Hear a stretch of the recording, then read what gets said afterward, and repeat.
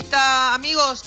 Eh, estamos comunicados con el diputado por la Ciudad de Buenos Aires, Javier Andrade, del Frente de Todos, y porque venimos hablando de la nación, venimos hablando de la Corte, pero amerita también que hablemos del amigo Larreta y de todas las maniobras que realiza la legislatura de la ciudad. O sea, hablar un poquito, hay muchas cosas para hablar de la ciudad, pero bueno, el diputado está en sesión, tiene muy poquitos minutos, así que ¿qué tal Javier Andrade, cómo te vas? Eh, Adrián Albor, Ignacio Sotillo y quien te habla, Susana Nasuti, estamos comunicados con vos. Gracias, Susana. Bueno, les agradezco en principio la posibilidad de poder estar charlando con ustedes. Bueno, muchas gracias. Eh, gracias a vos también por salir de la sesión y hablar con nosotros. Eh, hoy se votó el presupuesto de la reta, ¿no? ¿Nos podrías contar un poquito de eso? Sí, por supuesto. Hoy se votó el presupuesto de la reta.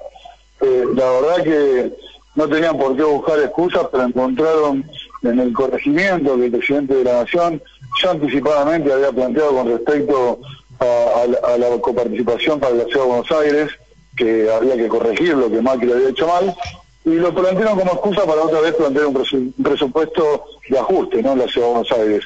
Lamentablemente eh, baja el presupuesto de educación, el más bajo de toda la historia de que gobierna el macrismo en la Ciudad de Buenos Aires, o Juntos por el Cambio, PRO, Vamos Juntos, o como se denominen, 17% para el presupuesto de educación, una baja en el presupuesto de salud, en cultura, en cualquier área, eh, plantea una baja en una idea de presupuesto de contingencia, esperando los resultados que puedan tener la justicia y la Corte Suprema por la presentación judicial que, llevaron a cabo. La realidad es que los argumentos se caen eh, por su propio peso cuando ellos empiezan a hablar, eh, muestran la, la verdad una una insistencia con el tema, de una, de una manera de plantearlo con tanta bronca, planteando que un porteño de ley, como conocemos nosotros, nuestro, presidente de la Nación, eh, plantea que le saca la salud, que le saca la educación a todos los porteños y la realidad lo que vienen haciendo ellos constitucionalmente y consecuentemente con su proyecto político eh, lo viene haciendo constantemente. Y por otro lado, obviamente aumenta eh, el monto de pago de interés de deuda, 48 mil millones de pesos, representa el 8% del presupuesto, y la pauta publicitaria es una de las cosas que, crecen, ¿no? 2.400 millones de pesos en pauta publicitaria, y ni hablar de cómo ellos entienden la, coparticipación de manera interna, ¿no? Hablando de las comunas en particular, a las cuales, si, hiciera lugar a la Constitución, todavía le deben reconocer el lugar de jurisdicción para que cada una tenga su presupuesto y las juntas comunales puedan hacer uso de ese presupuesto como corresponde y obviamente están beneficiando fuertemente a las comunas del norte y casualmente la 4 y la 8 son las que menos porcentaje tienen de aumento, lo digo casualmente porque son justo las comunas que encabezan compañeros nuestros, ¿no? Ah, bueno, sensacional. Recordemos que... Eh... Ah, perdón, estoy buscada. No, se te escucha, Susana, se ah, te escucha. No, no, eh, creo que es un presupuesto que es una respuesta a la corrección que se acaba de realizar hoy en el Senado en relación con los fondos de coparticipación. Pero recordemos también, eh, Javier y amigos, que eh, la reta está solo en esta historia, porque el otro día el presidente Alberto Fernández se reunió con todos los gobernadores para eh, dejar sin efecto el pacto fiscal que originalmente habían firmado con, con Macri. Y el único que no fue es la reta y hasta recibió de parte del gobernador de, de Córdoba una eh, o sea, recibió los gastos que Córdoba realiza en, en, relación con la policía para mostrarle cuánto es lo que se tiene que gastar en, la policía. Eh, o sea que él, para demostrar, Javier, que eh, no le alcanza la platita, que es una de las ciudades más ricas de, es la, es la ciudad más rica de toda la, de toda la Argentina, eh, hizo un presupuesto realmente terrible, ¿no?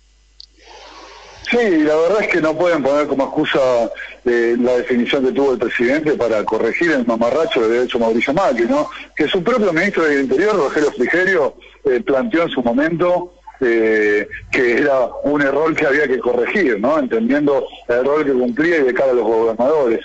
Y la verdad que es muy claro acá. A ver, la coparticipación, el 1,4%, no se tocó. Eso es lo que estaba homologado. Lamentablemente avanzaron, digamos, ellos en función de, de, entender, digo, como Macri entiende las cosas, de a los propios darle más de lo que se merecen, entenderlo del conjunto, y obviamente la provincia de Buenos Aires, la más discriminada en materia de participación, eh, tuvo la posibilidad de tener algún recurso para resolver una situación que habían profundizado claramente en el gobierno de María Eugenia ¿no? Así que creo que no hay excusas, siempre presentaron proyectos de presupuesto de ajuste en la Ciudad de Buenos Aires.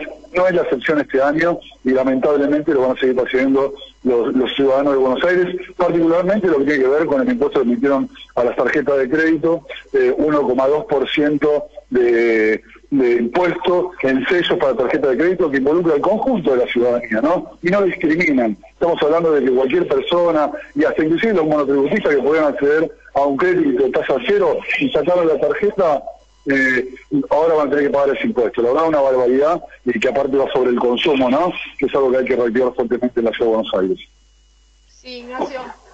Sí, eh, hola Javier, te habla Ignacio Sotillo. Es para hacer una pregunta que tiene que ver un poco con la historia, pero que es demostrativa de los manejos de Cambiemos.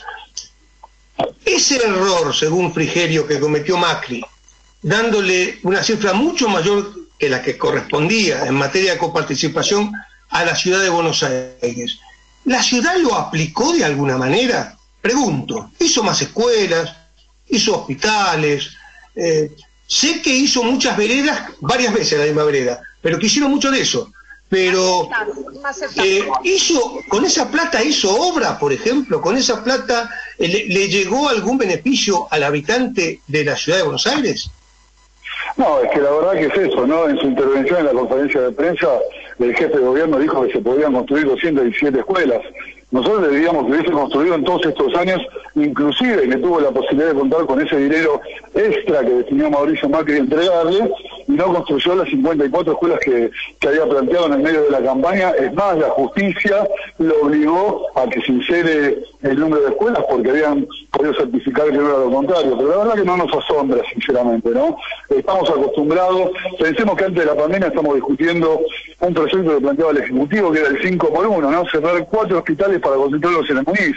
Imaginémonos si eso hubiese sucedido cómo hubiésemos atravesado la pandemia en la ciudad de Buenos Aires. Y por otro lado, como una perlita, en el marco de la discusión que tiene que ver con el suelo y el, suelo propio del Estado que se pone a la venta, y el caso de Costa Salguero, donde quieren poner eh, un barrio de lujo a orillas del Río de la Plata, en el presupuesto pusieron 5 mil millones de pesos para infraestructura en Costa Salguero. Entonces, la realidad es que no solo que que van por el ajuste, sino que hacen oídos sordos a una audiencia pública que tuvo un récord en inscritos, más de 7.000 inscritos, ciudadanos y ciudadanas, para manifestar su descontento con este proyecto. Digo, la verdad que ellos siguen por el camino que, piensan que tienen que hacer, es macrismo explícito lo que, lo que hacen, y en materia de, planeamiento urbano y de construcciones se han transformado claramente en la herramienta electoral de los grandes desarrolladores inmobiliarios, ¿no?